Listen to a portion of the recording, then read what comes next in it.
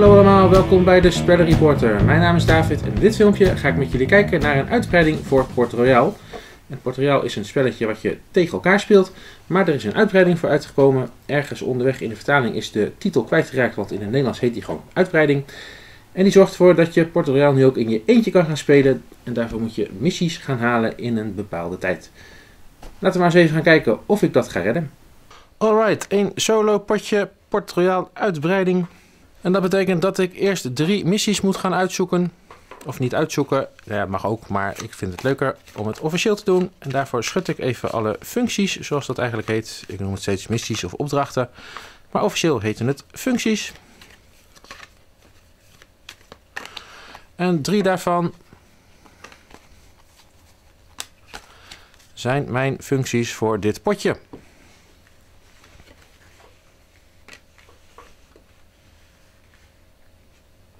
Nou, dat is op zich een makkelijke opdracht. Tenminste, ik weet niet of het makkelijk gaat worden, maar de beschrijving is makkelijk.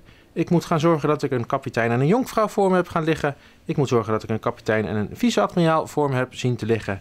En ik moet zorgen dat ik een kolonist en een kanonier in ga huren. Oftewel, met één kapitein kan ik twee functies gaan vervullen. En ik moet gaan zorgen dat ik binnen de tijd op elke functie één blokje mag leggen. Dan moet ik mijn tijdlimiet gaan bouwen door 13 kaarten te trekken van dit dek. 7, 8, 9, 10, 11, 12, 13. Daar hoef ik niet op te kijken. Vervolgens doe ik de som van de cijfers bij elkaar optellen. 1 plus 0 plus 1 is 2, dus ik mag er nog twee kaarten bij doen.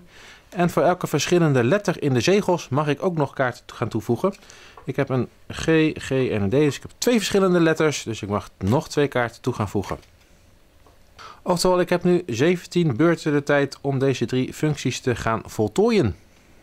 En ben ik aan de beurt, dan moet ik altijd eerst één kaart van de tijdstapel aftrekken en pas daarna mag ik gaan trekken van de grote trekstapel. En laten we maar eens even gaan kijken of we dat gaan halen. Dus ik trek de eerste...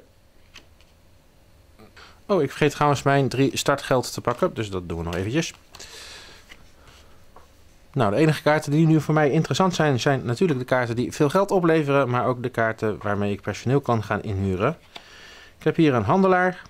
Die heb ik dan toevallig weer niet nodig voor mijn functies. Hier heb ik een admiraal, die heb ik ook niet nodig. Ik wil geld, mensen. We moeten wel even geld gaan sparen, zodat we deze poppetjes kunnen gaan kopen. Kolonist hebben we wel nodig, maar die kost 4 en ik heb maar 3, dus dat is jammer. Dus ik moet even een goed schip hebben. Belasting. Deze belastingkaarten die gaan ons punten opleveren en die bepalen dan een beetje hoe goed of slecht je het gedaan hebt. Dat wil zeggen, als je gewoon je functies voltooit voordat de tijd op is, heb je gewonnen, heb je het goed gedaan. Maar hoe meer punten, hoe beter je scoort in het tabelletje. Gaan we straks naar kijken. Tijdens het spel mogen de spelers bij elke getrokken belastingverhoging één kaart uit de, één kaart uit de tijdstapel opzij leggen en deze levert een punt op. Dus het kost me wel één tijd, één beurt, maar wie weet, we leggen hem gewoon hier neer. En weet krijgen we dan een extra punt. En deze gaat gewoon naar de aflegstapel.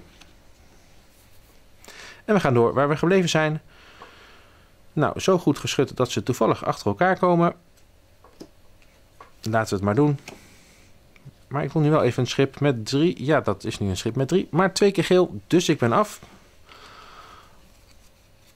Oftewel, ik ben nu drie tijd kwijt. En het enige wat mij dat opgeleverd heeft is twee punten. Maar geen geld. Volgende ronde. Trekken we weer een kaart open van de tijdstapel. En we gaan weer door.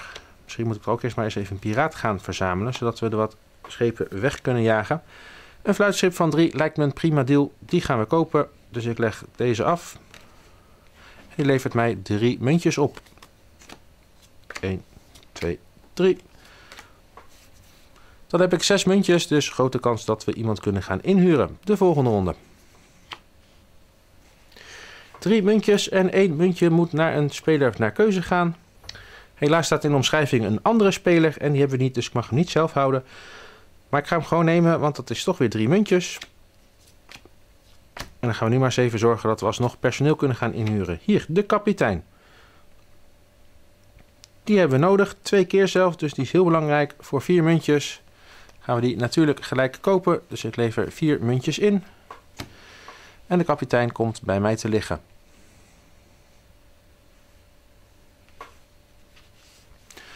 Dus we hebben al twee halve functies voltooid en we hebben nog vijf muntjes over. Eerst een kaartje van het tijdstapel. De priester. Hadden we de priester nodig? Nee. We hebben nu nog de jonkvrouw, vice-admiraal, de kolonist en de kanonier nodig. Eén missie. Is voor ons nu niet interessant. Zeker niet omdat we deze natuurlijk niet gaan inleveren. Omdat we dan onze functie kwijt zijn. Dus in principe kan deze gelijk naar de aflegstapel. Een schip van 1, dat willen we niet. We willen meer geld of we moeten iemand kunnen kopen. Bijvoorbeeld de jonkvrouw, maar die kost maar liefst 9 muntjes deze versie. Ja, zoveel hebben we nou ook weer niet, dus dat is jammer. Handelaar hebben we niks aan. Deze hebben we ook niks aan. Ik ga het even over elkaar heen leggen. Een blauw schip van 1 hebben we ook niks aan. En nog een blauw schip van 1. Twee keer blauw is dood. Dus helaas een beurt weggegooid. Maar ja, dat ene muntje was nou niet heel interessant. Daar ga je het niet mee redden. Volgende ronde. Gouverneur hebben we niet nodig. Matroos hebben we niet nodig. Weer zo'n missiekaart. En nog één kolonistenkaart. Een handelaar. hebben we ook niet nodig. We hebben hier allemaal niet zoveel aan. Een kapitein. Die hebben we al, dus die hoeven we niet nog een keer. En een zwart schip met drie muntjes. Nou, laten we die dan maar doen. Dus voor drie muntjes handelen we deze beurt af. 1, 2, 3. En dan gaan we weer door naar de volgende ronde. De matroos. Niet nodig. De handelaar niet nodig. We zouden een matroos kunnen pakken om schepen weg te jagen, maar die is wel erg duur en dan hebben we geen geld meer over om de personages te kopen die we moeten hebben. De kanonier, die hebben we nodig voor deze kaart. Die kost 8 muntjes. 1, 2, 3, 4, 5, 6, 7, 8. Wauw, precies 8. Dat betalen we en we nemen de kanonier. Dus we hebben alle kaarten nu al voor de helft. Maar de tijd begint... Nou, we hebben nog even. Een rood vergat van één muntje, dat willen we niet. We willen meer muntjes. Ik heb nu geen geld meer, dat is wel jammer. Maar drie muntjes lijkt me een prima deal. Dus we eindigen de beurt en nemen drie muntjes van het blauwe schip.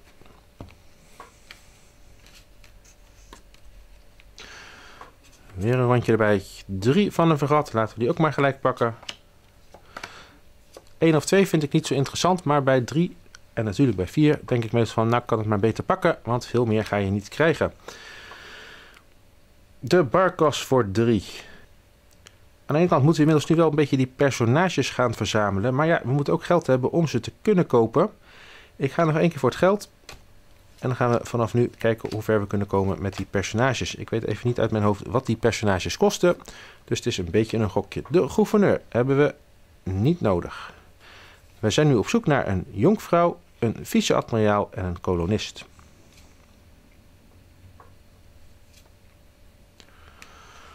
Liggen nu wel twee kleuren schepen. Als ik nu weer een kleur blauw of zwart trek, is de beurt voorbij. Maar we gaan op zoek naar die personages, dus we gaan nog even door. De admiraal hoefden we niet te hebben. Een rood schip. Het wordt nu wel tricky. Maar we hebben ook niet heel veel tijd meer. Sterker nog, we hebben nog maar vier beurten om drie personages te pakken. We gaan toch maar voor de personages. De matroos. Leuk, maar hebben we niks aan. Weer een belastingkaart. Nou, we hebben niet meer dan 12 muntjes, dus, dus, dat, dus dat gaat goed.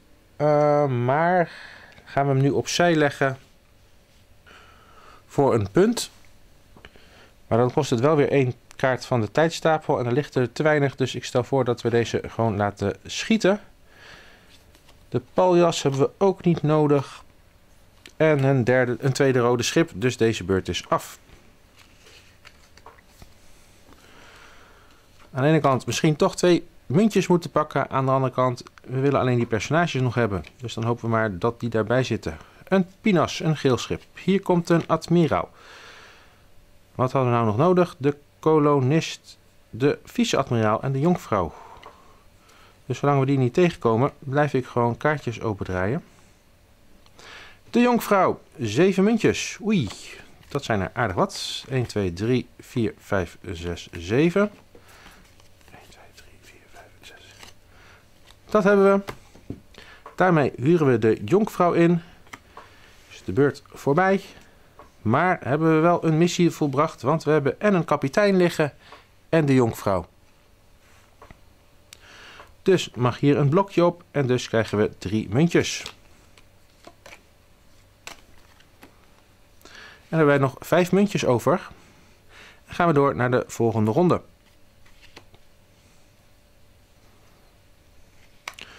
Dus nu zijn we nog op zoek naar de vice-admiraal en de kolonist. Ik leg de personages even op elkaar.